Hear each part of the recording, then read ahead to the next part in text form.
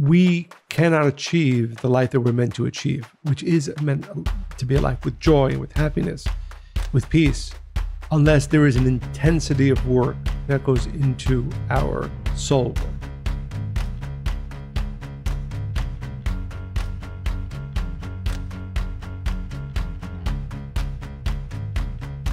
Welcome to Spiritually Hungry. Yay! So I think we are both inspired by a recent article in the New York Times by journalist Jessica Grose. And she brings up the concept of doing the work that's gaining popularity among young adults. We're not talking about career or vocation. We're not talking about scholarship or academia. The work is self work, as in self improvement, to become the self actualized being. And she goes to a lot of different places in the article, but I think at the crux of what really bothered her is that it implies that that it can come off as being patronizing. That the reason people haven't been their problems haven't been solved is because somebody isn't working hard enough. Right? Um, she also references a trend on TikTok. And I think that's how she came to write this article. She kept having these different things, like 20 different messages pop up in her feed about doing the work and whatever that looked like to this different group of, I guess, young adults, as she puts it. And um, it wasn't clear what the work really is, right? And that's when my ears perked up. But she asked this question Does tending to my mind and soul have to be framed as yet another job, another box to check, another task to optimize and conquer? My gut reaction is I simply decline to do more work. My life is already filled with many kinds of labor, which gave me a little chuckle. I hear that a lot with couples I work with they feel like they already have to work hard enough in life and they don't want their relationships to be more work. Um, and so I think it's really interesting topic for today. And I do hear you, Jessica, but I do obviously think that there is um, this is an important thing to have on your to-do list. It's well, I, essential. And I don't think, by the way, this is unique to Jessica. I think a lot of people feel like, you know, I'll do that when I have time, if I have time. And what is that? What is hard work? Well, I, I would actually say more emphatically that, and I, in the article, she was referring both to soul work and uh, uh, work with the therapist. But I would say self help versus spirituality is kind of how I read it. Right, but but uh, my point is that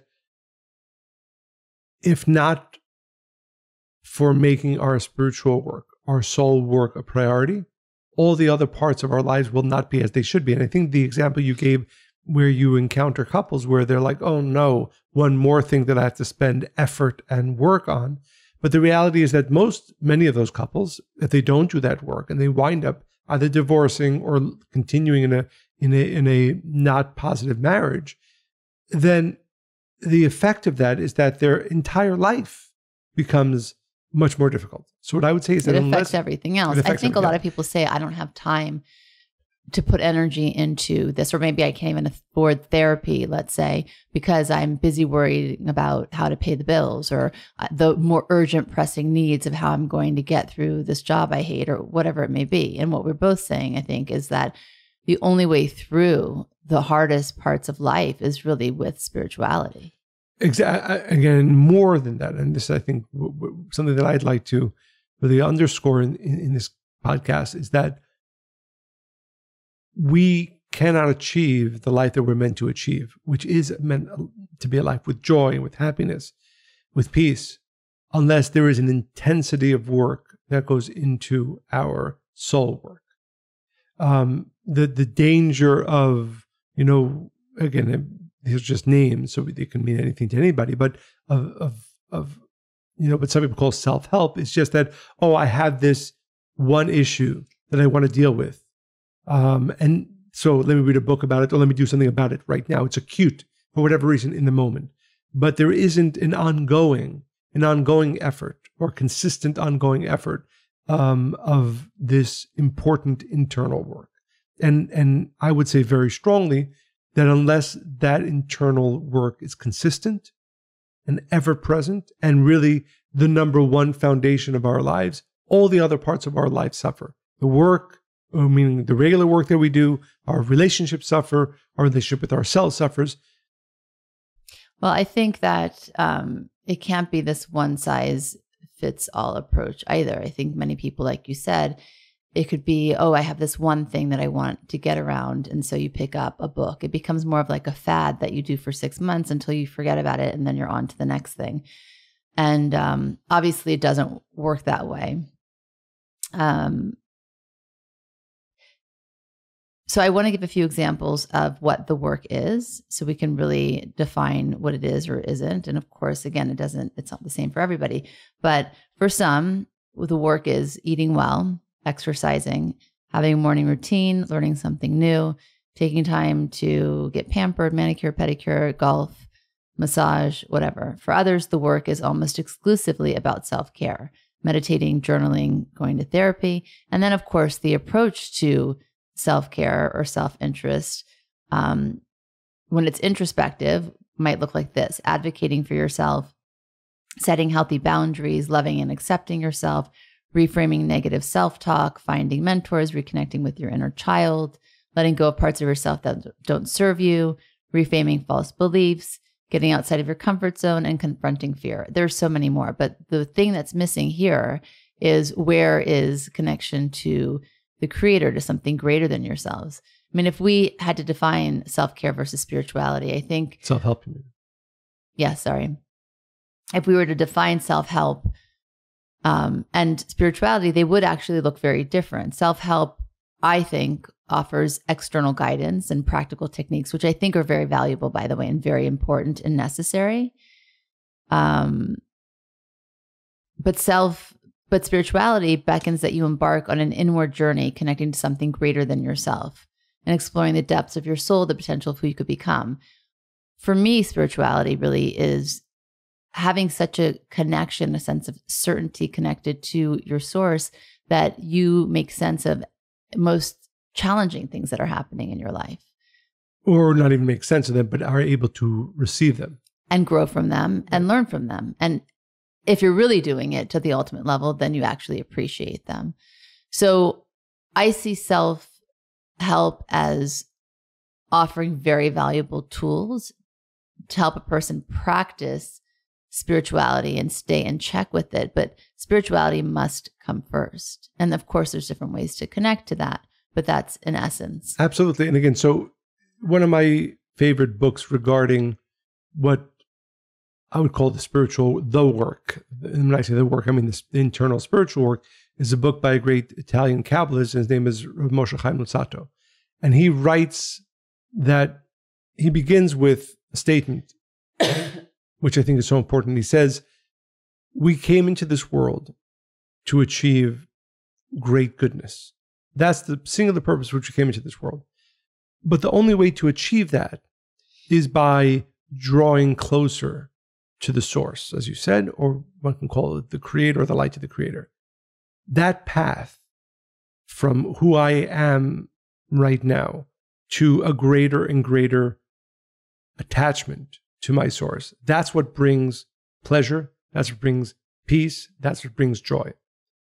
But that path is not a path that is easy.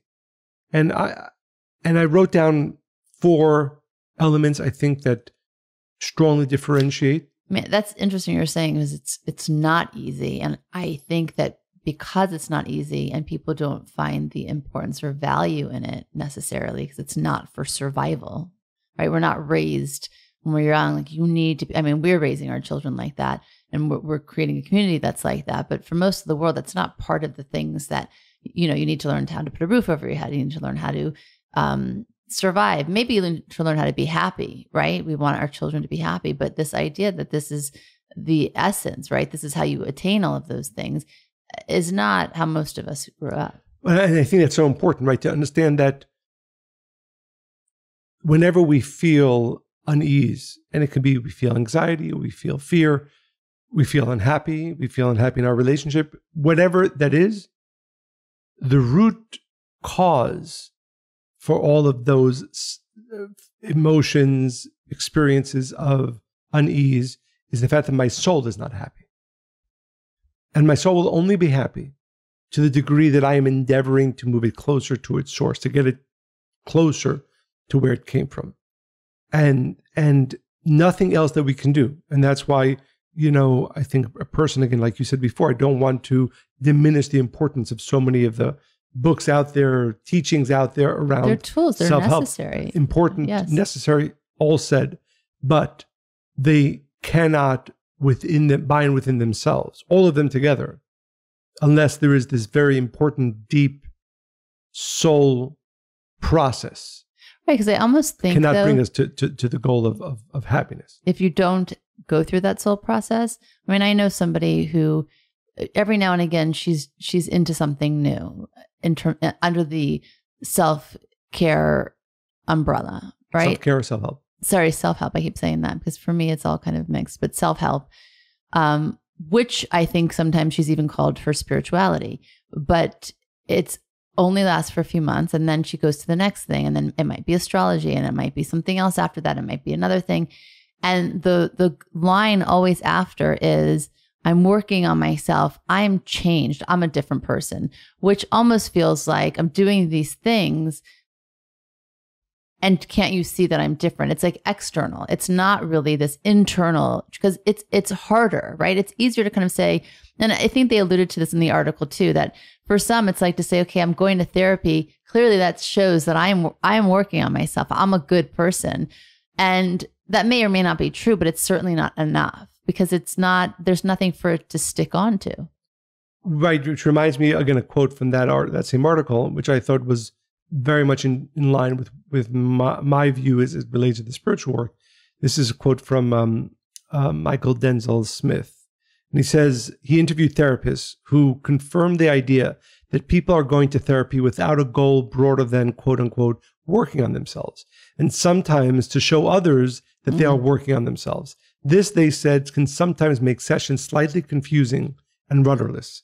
it's and funny that word this person rudderless is a very strong, yeah. would bring it up whenever she was getting negative feedback about something she was doing. It was kind of like, hey, leave me alone. Not you don't take she wasn't taking responsibility for anything because I'm a good person. I'm working on myself. Right. Right. So I do see that sometimes. Um, but what you were saying about rudderless? Well, I think that's the point. I think without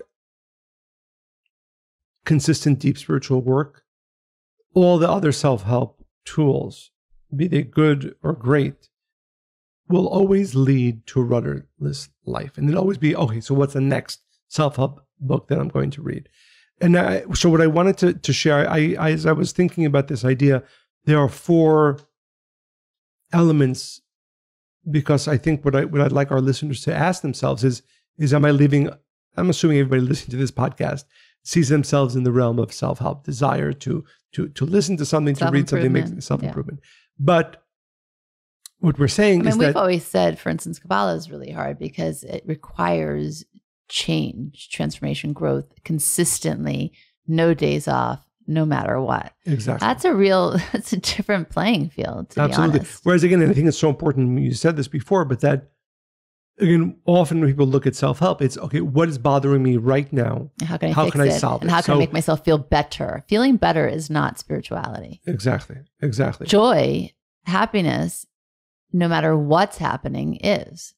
so for for i guess elements or ways to ask yourself the question are these four elements part of my work if they are then there's a greater chance that i'm truly on the the right path or the spiritual path the path that brings my soul back to its source. Is it consistent? Meaning whether in the days you're feeling great or the f- days you're feeling challenged the work that we're taught, whatever it is that you choose to do but what you see as your spiritual work introspection transformation is it consistent? Because if it's not consistent if it's just oh well today i'm feeling pretty good no reason for me to either study read Pray. do any work whatever those words or whatever those tools that one uses then i go back to that word your that person's life will be rudderless because it, it has to be consistent. Whatever work you're doing has to be consistent on the good days and the bad days the days you feel like doing it the days you don't. Number two it has to be uncomfortable. And again this again i think also when you goes say it has to be uncomfortable, whatever it is that you choose to do. So for example Yeah, give us one. let's say a person chooses that part of my spiritual work will be every day I do an action that goes outside of myself. I'm going to help somebody outside of myself. But the question, the next question has to be, is it comfortable? That's okay for sometimes. That cannot be the, the entirety of the work. Meaning, are you sharing in ways that are uncomfortable for you? Whether it's the time that you do them, you don't feel like going them, out of your comfort person. zone. Exactly. It has to be uncomfortable. It has to be uncomfortable. And this is this is a second test between whether my work, whatever it is that I am doing, is part of true work, as I would call it, or work that is fine but is ultimately rudderless. Is it am I consistently choosing to make myself uncomfortable? So the example here would be if a person is a billionaire giving uh, a big check, even though it's very spiritual, it's going to help people, isn't really transformative sharing. The harder thing for that person probably to, would be to go help prepare meals in the kitchen or clean a bathroom or whatever, right? That example. is against his nature, against his comfort zone. Um, right. And both are acts of sharing, but I guess it's which one is more transformative for you, right? That you're going to grow from that experience. Exactly. Another example is study. Spiritual study is an important part of this, whether it's a book that you read or somebody you study with, a teacher. And so there are days you're inspired to do that, and there are days you're not. The question is, on the days that you're not, are you do you make yourself uncomfortable to do that? Mhm. Again, simply because if you're not, then it's not part of the true path. It's not part of the, of the spiritual path that will lead you to your soul's ultimate purpose in this world. So that's two. The first one, First one is consistent work. mhm, Second is uncomfortable work. Mhm. The third, there, ha- there has to be an element of it that doesn't make sense to you. meaning What I would call beyond logic. Uh, I'll use an example. So, so let's say you're you're you know you're you're helping somebody, right? And they ask you for something, makes sense for you to give it to them. Then they ask you for something else, which doesn't make sense for you to give it to them. And again, I'm not saying that you always do this because you might be right. Your your mind, your logic might be right. I shouldn't give this to them. But are there elements of your work, of your spiritual life, that are beyond what is logical for you? So it would that be the same as having an openness to giving of yourself in in places or areas that doesn't really make sense. Is that what you're saying? Also, also, I'll give maybe a clearer example. There are people who are involved in the spiritual work and they are open to hear feedback because they know I can't always see what's right or wrong with me. I need to be open. But they assign this is the person I will listen to, or this is the person I'm comfortable receiving feedback from. This is a person I'm not. Well, how about every once in a while you put your, yourself in a position where you're where you listen to, where you open yourself up to listen to somebody who doesn't make you comfortable. Mm. So Who you least likely want to hear from. right, right, or least likely, but less likely, right? Doesn't have to be your worst enemy, but it might be somebody who doesn't always Uh, make you depends how the stakes, how high you're.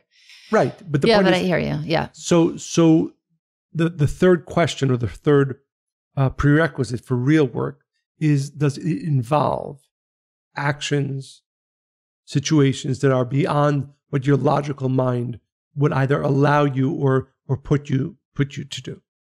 That's three. And four, related really to the previous two, is: do you do things when you don't want to do them? Do Well, wasn't that the all, that's all of them? well, yeah, but it, right. So consistent work when you don't want to do it, uncomfortable work when you don't want to do it, beyond logic when you don't want to do it. So, but the overriding question is, you know, which I think I might be the, a very clarifying question for people who are on the quote unquote self help path. Am I engaged in it when I want to, and I disengage when I don't?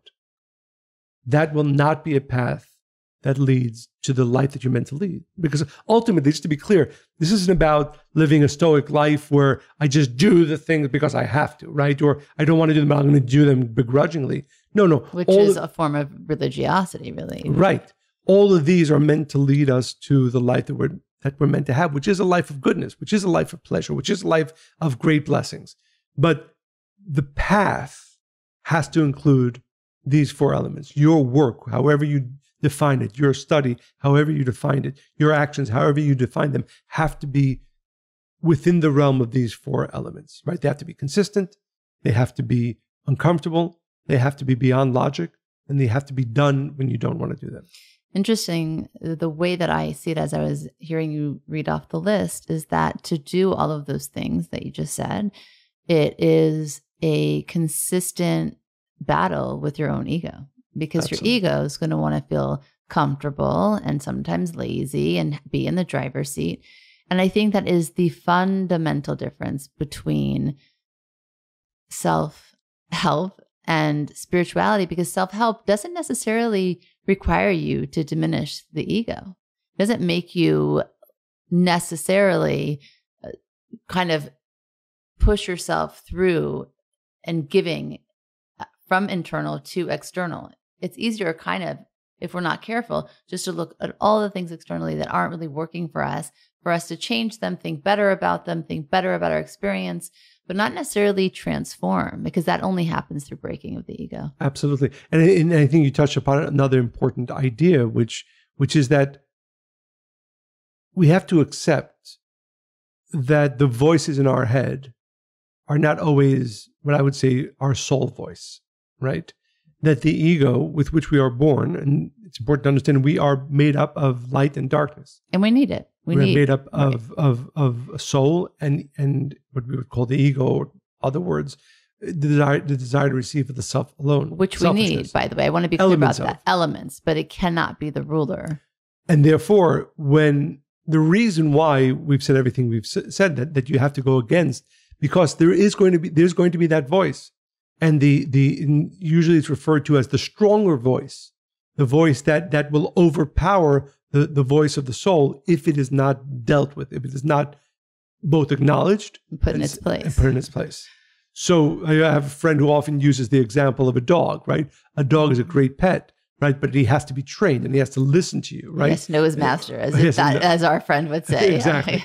And this is the point. If you if you understand, if you truly take in that there is this other voice within my head, and therefore not every idea that that I have is what's good for me. Not every thought that I have is good for me. That there has to be a battle, and unless I'm battling against that other voice, and that battle consists of everything we said before, I'm probably losing the battle.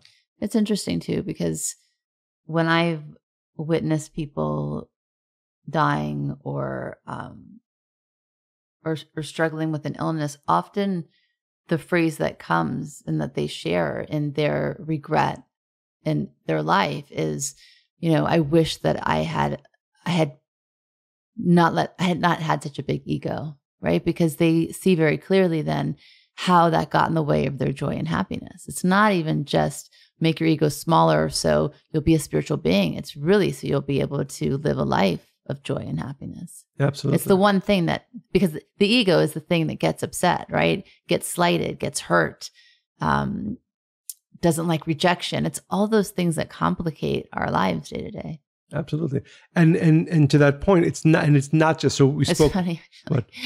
When my father, before he got sick, um, he did have a brain tumor and he had surgery for that. And he came out of it was like an eight hour surgery. And um, and I told part of the story before that I ended up staying because my mom was worried. But I didn't actually go into why she was worried. Because I, I was there for the surgery and I was there for 24 hours. Then I was going to fly. They had to stay there for three more days for the weekend. Um, but when we saw him post op, we went in to the to his room, to the hospital room, and he's smiling and he's happy and I'm like, Dad, how are you feeling? And he's making like sense pretty much, but of course he's loopy. It was a crazy surgery, and, and he was on medication. And then he turns to us. He's like, you know, I have such a big ego. My ego is so big. And I look at my mom like, I'm going to stay. Don't worry, I'm going to stay because my father would have never said that electively. Um, but yeah, but it's the thing that like, you know, he was speaking truth, by the way, at that, at that moment. Absolutely beautiful. Well, I don't know, it was beautiful, but it was, well, no, it's it was beautiful, beautiful you sharing it with us. But but another part of this, which is really important, in why maintaining the the work as we're referring to it, I would say the spiritual work, is because not only is there a voice in our own head, the ego, the desire to receive for the self alone, the selfishness that that is overpowering unless you're battling with it through the work. Also, the the the what I would call the consciousness of the world you take the most amazing person and once we understand that the consciousness of the world influences us. What people care about, what people worry about, what people put importance to, that influences us. And it's, so it's not just whether. So the, a man is not an and island. that, and that means not just in a physical sense that you know that, that I, a person is influenced by the people he hangs out with, which is of course also true, but also I and you and every single one of us affect everybody. are affected, affect everybody else, yes, but also are affected by the conscious, consciousness of the world. And the reality is that the outward consciousness or the outward, um, often the the the expression of humanity is a selfish one. Makes you want to go live on one. an island, actually. Yes. that, by the way, it's one of the reasons why it's important to spend time in nature because you, you take yourself out. One of the reasons it's important to, to for instance, read from writings of, of, of, of great souls because It you attach yourself. Well, more you attach yourself to that thought. You attach Mm-hmm. yourself to that person. Mhm. But while we're in this world, we are influenced by everything everybody's thinking. So unless we're battling, we're losing the battle because our mind unconsciously is going to start thinking the way everybody else thinks. Ego, selfishness, whatever those, whatever those thoughts are, unhappiness, anxiety. And therefore the, the battle of the spiritual work versus other other forms of self-help is, the, is that it helps extract us from the the the reigning often negative consciousness that exists in the world. And unless it's done, as we said, consistently, uncomfortably, beyond logic, when I don't want to do it, then we fall prey to the to the consciousness of the world. So let's just pause for a sec because you said the way to get out of that is to go into nature or read something One of the ways, yes. spiritual. So, and I'm just playing devil's advocate here. How is that different than self help? Because for some people, um, meditating is is a form. So you're saying these are these are the tools you use. Are, yeah, these are- all tool, but all of those are great tools. Reading a book, studying deep spirituals teachings, meditating, going into nature. All of them are are important uh, uh, tools to use, and many others that we're not even mentioning. But we need to understand the purpose of why we're using them. Exactly, and it has to be part of a regimen. It does have to be part of regimen. You know, people don't like the people. Again, people would prefer to think, oh, you I'll self help is self help, so I'll just do it when I feel like it, or when Or there's something down. pressing, or exactly. It's not the that again. Of course, there's no judgment. A person, anybody can do whatever they want, but ultimately, to achieve the purpose for which our soul came into this world and to experience the beautiful life that we're meant to experience, the spiritual path is the only way. So, and related to that is is the understanding that, and this is, might be a little bit deep, and you let me know if, if it has, needs to be unpacked more. Probably yes. and there's there's a great um, uh, Kabbalist. His name is Moses Cordovero. He's from uh, originally from Cordoba in Spain, and he wrote a book where he speaks about the attributes of the light of the Creator and how man, each one of us, is meant to emulate them. So when we talk about Can you go over that list? it's too long for this Like, give us three. Yes. Um, but the reason why it's so important is if you imagine that we're a piece of a puzzle, right? The, pu- the piece that I am needs to be able to fit back into, refer to it, the source, the creator. And ultimate pleasure is when I'm in my place. What is my place? When I am in that perfect connection with the, my source, with the light of the creator. We come into this world to shape ourselves in a way that fits into our source. We come into this world with ego, we come into this world with selfishness, and the spiritual work is to sort of sand down the sharp edges that don't fit into our source. And when I make that transformation, ultimately I perfectly fit where I'm meant to be, back with my source. But we fit that's- before we came. before we the work that we come into this world to do is to we're we, we're born with the soul. The soul yes came there. But the other parts of us our ego our selfishness which is of the what we call of the body. Which is Right. also from past incarnations. past incarnations sure. That's the work that we're meant to do. Its purpose is to allow us to then fit back with our source which is the ultimate state of bliss so if you understand that so what that means is that as we ex- as we exist now and of course it's, it's a progression my work is how do i make myself fit more, be more like basically the light of the creator. And that's the purpose of the spiritual work. That I I make myself back into the form that fits with the light of the creator. Well, that's why that list is important. Give us three. So one example he gives is that, well, the simplest one is that the light of the creator is always desiring good for others, Mm-hmm. which of course I think is something It's so most of basic, us- so difficult. it's so difficult, right? I mean, think about I mean, who really? Right, that- uh, that- but you- a- if you did, you'd have saint in front of your name. Exactly. Right. But the point is, the point is, it's an aspiration. It's where we need to be going towards. Another, Even those who harm you. ultimately, yeah. I mean, and that's the second. The second one I was going to share is a concept that's referred to as um, not only does because to use the example, when a person behaves selfishly, let's use an example, uh, an extreme example, a terrible person, right, who's still alive. Mhm. What does that mean? It means that person is living a life that completely opposes the light of the Creator, right? Nevertheless, the Creator says, I will sustain you. I will give you life, right? So the, the ancient biblical phrase is, is, is the fact of al pesha, which means that even against those that, towards those who behave completely incongruent with the light of the Creator, the light of the Creator still supports. So when we talk about our own enemies, right? So imagine in this case, one of the attributes of the light of the creator is to support those who hate you, right? And again, this is a very far, Yeah, you're going to need to unpack that one. well, Because- pretty simple and straightforward. I'm not saying every, every one of us needs to be there right now, but it's the But ultimate to why and how does the creator support those who They're harm alive. others? Who gives them life? The fact that they're still alive. But They might have a really horrible life. It's possible, but they still are alive. My point is to be. My point is again I- is that we study the attributes of the light of the Creator, a giving force, a loving force, a force that desires good for everybody. Yes, in extreme cases, a force that gives to those who oppose it. Simply, the, the point is, which I don't want But- but- yeah. to be lost that that that is our life's journey to become in the words of one of my earlier books become like god or become like the creator There why go, Michael. because then Good, but uh, wait, everybody, if you haven't read this book, I highly recommend it. Stop what you're doing right now. Pause.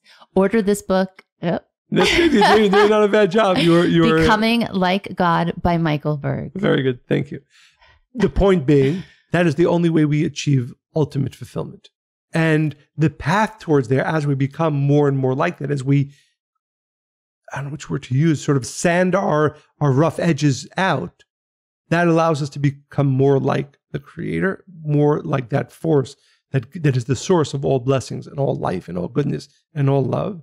And all the ultimate purpose of our journey in this world is to become 100% like that force. By the way, that is to your point, the importance of study. Everybody really actually needs to know that list by heart because if not, it's how do you know where to go? How do you know what to do? How do you know what to choose in each moment? It's kind of like you're searching for a treasure and you're just going around aimlessly. You need a map. You need a map right? with Rudderless. with uh, this is point one. If you complete point one, you go to point two.